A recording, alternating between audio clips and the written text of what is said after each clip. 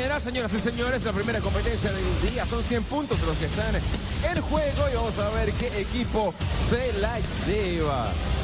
Por parte del equipo rojo, avanzando a toda velocidad. Uy, se equivocaba.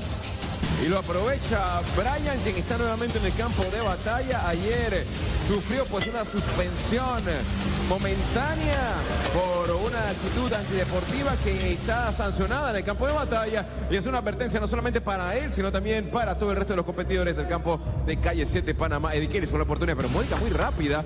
Uy, se cae por allá uno de los cubos que coloca Mónica Lee y lo vuelve a aprovechar el equipo amarillo para irse adelante. La oportunidad ahora la tiene Coccoli, el capitán del equipo amarillo, mientras que Juan es quien sale con la campanada por parte del equipo Escarlata, avanzando, transportando consigo un... Bueno, Juan no lo transportaba, tienen que salir eh, con el cubo en su poder, llevarlo a la parte alta e ir formando la estructura sin que caiga, como ocurrió acá del lado escarlata. Cualquier movimiento abrupto hace que los cubos colapsen y les quita tiempo valioso a los competidores. Vuelve a caer. ¡Oh! Se fue totalmente abajo de la estructura. El cubo y ahora tiene Juan que bajar a buscarlo. Es una competencia de mucho sigilo también. Movimientos calmados, movimientos controlados para evitar que la estructura se mueva. Y este es el problema que está teniendo el equipo Escarlata en este primer enfrentamiento. Ahora Claudia coloca el siguiente cubo y avanza. Tambalea la torre del equipo Escarlata, pero lo logra Juan. Una campanada de ventaja saca el equipo amarillo en esta competencia. La oportunidad la tiene Ross, mientras que el carril amarillo es Ian avanza. Tienen que tener mucho cuidado los competidores para poder avanzar sin derrumbar la torre. También hay que encontrar la manera de armar una torre estable. Porque realmente si no hay estabilidad en las bases, se le va a complicar muchísimo a los competidores esta competencia. Ian avanza ya con el pañuelo, mientras que Ross viene a dar la campanada, la oportunidad para Maulla. Sale con su cubo. Mientras que Ian avanza en el descenso controlado. La torre del equipo amarillo está bastante mejor armada. Han tenido tiempo sin precipitarse, los han colocado en un orden bastante efectivo para mantenerla armada, mientras que cada movimiento de los competidores del equipo Escarlata tambalean esa torre y ponen en peligro cada una de las pasadas. Ahora la mamacita Marlene avanza por parte del equipo amarillo. Moya trata de estabilizar la torre. Marlene hace lo mismo. Pero recordemos que el equipo amarillo tiene una vuelta por delante. Y acá la agilidad y la fortaleza también para poder bajar sin estremecer la estructura va a ser fundamental para poder sacar una buena competencia. Marlene se va a dar la siguiente campanada. Ya han transcurrido prácticamente tres minutos y medio, Daniel, de esta primera competencia del día. Y el equipo amarillo está dominando.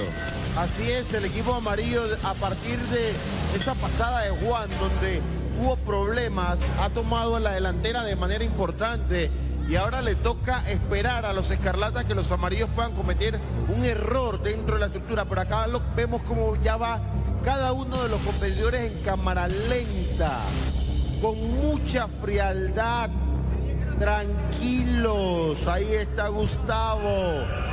A la hora de subir y bajar la estructura, Fané, como si fuera detective, tranquilidad con paciencia, tiembla la torre en la parte superior. Ahora Fané cambia los cubos hacia una esquina, no sé si es buscando algún tipo de estabilidad. Fané empieza a bajar con mucha lentitud, al igual que Gus.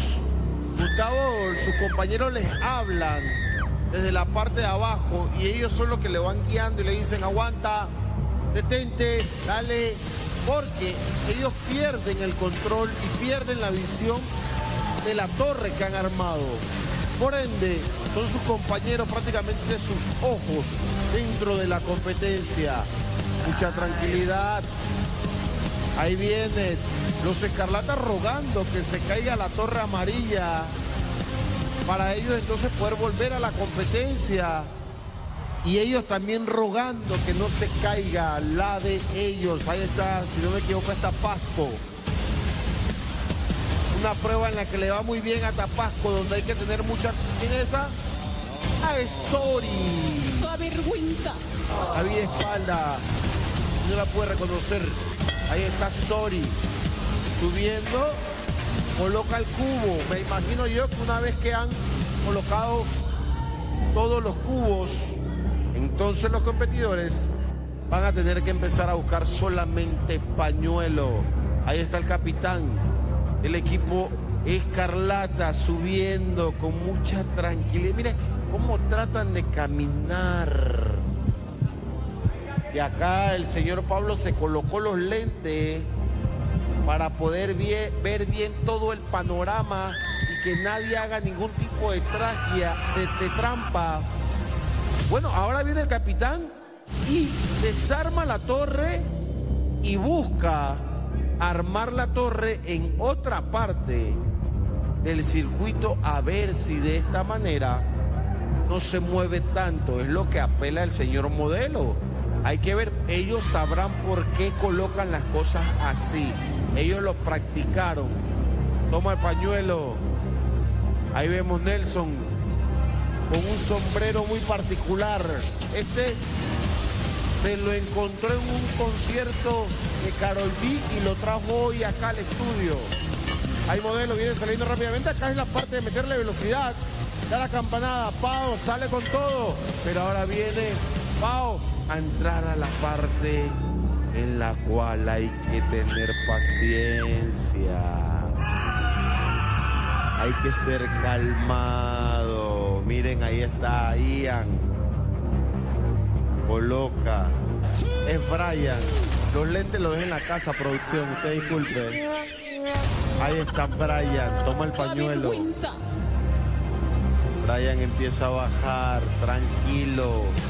Y a medida que va aumentando, se va poniendo más difícil. Pau con el pañuelo, aseguró el pañuelo, ahora tiene que colocar el cubo. Ya bajó Brian, va a dar la campanada, da la campanada Brian, salta con todo para que salga una de las más pequeñas y rápidas y veloces del campo de batalla, es Eddie Kelly. Pau. Descendiendo Alfredo. ¿Qué tensión hay dentro del estudio al ver esta prueba, Alfredo? Dándole mérito al nombre de la competencia, tensión en las alturas. Pone creativo Pablo con los nombres de la prueba. Lo veo todas las tardes con dolor de cabeza, pensando qué nombre le va a poner a la prueba, pero ahí está bien creativo el hermanito. Paola logra hacer su pasada sin tumbar la torre. Ahora queda un solo cubo por parte del equipo rojo que lo traslada el señor Dimas. Empieza con el ascenso del competidor. Una campanada de diferencia el equipo amarillo que ahora se dispone solamente a buscar el pañuelito con toda la precaución necesaria para no tumbar los nueve cubos que están en la parte superior de la estructura. Dimas acercándose a la torre se tambalea torre del equipo rojo. Pocolin se toma su tiempo, lo hace con calma, sabe que tiene la ventaja. Prefiere ir a lo seguro mientras que el equipo rojo con todo y la cautela necesaria están tratando de hacerlo lo más rápido posible. La cara de preocupación y tensión del cocó. Nivel de concentración el más alto de la competencia. Mira la cara. Dimas, llegando a la parte inferior, sale de la estructura, avanza el competidor para dar su campanada y sale Mónica Lee a toda velocidad. Tiene que levantar todas las puertas para avanzar y llegar a la estructura y empezar el ascenso, el cual tiene que hacer con toda la precaución necesaria, pero también con la velocidad suficiente para tratar de alcanzar al equipo amarillo. Mónica aprovecha el hecho de que es una competidora. Sale Coco. Campanada para que salga Claudia Tapasco. Que te amazing. Mónica aprovecha que es una competidora muy ligera, muy pequeña para avanzar un poco más rápido que el resto de los competidores y efectivamente ya está en la última etapa de la prueba, saliendo del laberinto sin inconvenientes allí. Se asustaba, pero lo lograba hacer sin problemas. Avanza para darle la oportunidad a Juan, que en su primera pasada tuvo varias dificultades. Se le quedaba el cubo, luego en la parte superior también se le quedaba el pañuelo. Se le cayeron los cubos como siete veces, pero sin embargo el equipo rojo logra mantener un ritmo que le permite estar cerca del equipo amarillo solamente a una campanada. En este momento, el equipo amarillo, en manos de Claudia, toma el pañuelo. Bien, Claudia Tapasco con toda la tranquilidad, con toda la calma. Una prueba en la que le va muy bien a Claudia, señor Alfredo. Se le da bastante bien porque es una prueba rápida, Daniel. ¿Cómo? Una, es que ella es muy rápida, tiene que controlar su velocidad. No, pero en esta, vaya, Claudia, y el, el equipo dijo, ella tiene que ir, tiene que ser una de las primeras mujeres. Aquí vemos como Claudia sale prácticamente de la estructura. Juan logra hacer su pasada de manera correcta también. Llegó a la parte superior y trataba de acomodar la torre. ¿Qué pasa? El equipo rojo coloca la torre hacia un lado, buscando la estabilidad de la torre. Pero también corren el riesgo de que si se cae prácticamente todos los cubos van a ir hacia la parte inferior de la estructura. Vamos a ver. El equipo rojo logra mantener ese ritmo sin inconvenientes. Podría Daniel alcanzar el equipo amarillo porque solamente una campanada de diferencia y a pesar del equipo amarillo va adelante, el equipo rojo ha estado bastante fluido en estas últimas pasadas. Rogamos, Marco, que no se caiga ninguna de las torres. Ah, yo sí estoy rogando que se caiga alguna, Daniel, porque se hace más divertida la cosa. Y más si se cae la torre del equipo amarillo. Pero vamos a ver qué ocurre. Porque si se cae la del equipo escarlata, pues van a tener grandes dificultades también. Acá se acaba de empatar la competencia. Y muy bien con la oportunidad. Ian logra bajar. Ya va a dar la campanada. Nuevamente el equipo amarillo está adelante. Moya con una oportunidad importante. Mientras que la mamacita Marlene sale rápidamente para tratar de asegurar los 100 puntos hacia el equipo amarillo.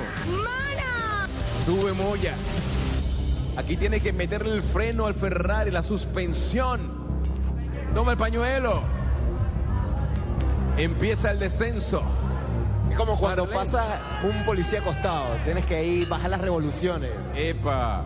Pero rápidamente Marlene viene prácticamente al lado de Moya, asegurando que si suena la campanada del lado rojo también sonará del lado amarillo. Y efectivamente, una campanada por bando. La oportunidad ahora la tiene Fanet por parte del equipo rojo. Gustavo por parte del equipo amarillo.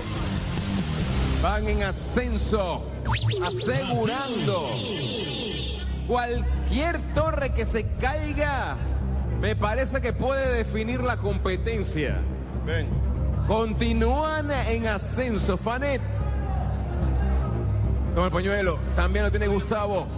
Empiezan el descenso. Ambos muy concentrados, avanzando. Pero la torre que se menea es la roja. Bueno, desde el inicio de la competencia. Fanet rápidamente. Viene a dar la campanada, la oportunidad es para ya modelo. Señoras y señores, cuando entramos en el último minuto de la competencia. Señoras y señores, aquí solamente puede pasar algo.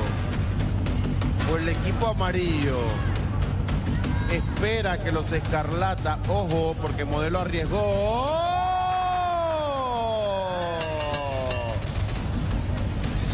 Y al arriesgar el señor modelo, se despide el equipo escarlata de los primeros